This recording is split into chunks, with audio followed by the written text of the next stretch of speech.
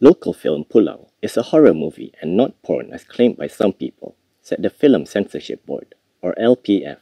In a statement, the agency under the Home Ministry said they had reviewed the movie which was submitted for LPF approval.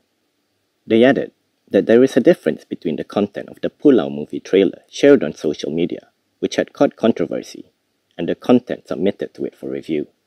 They said that the content of the trailer shown online is outside its jurisdiction. LPF said that they welcome all feedback and constructive views regarding film censorship in the country. However, they also stressed that they are always sensitive to the social cultural norm in Malaysia and does its film reviews according to existing guidelines. The movie had come under the spotlight recently after it was alleged to contain obscene materials.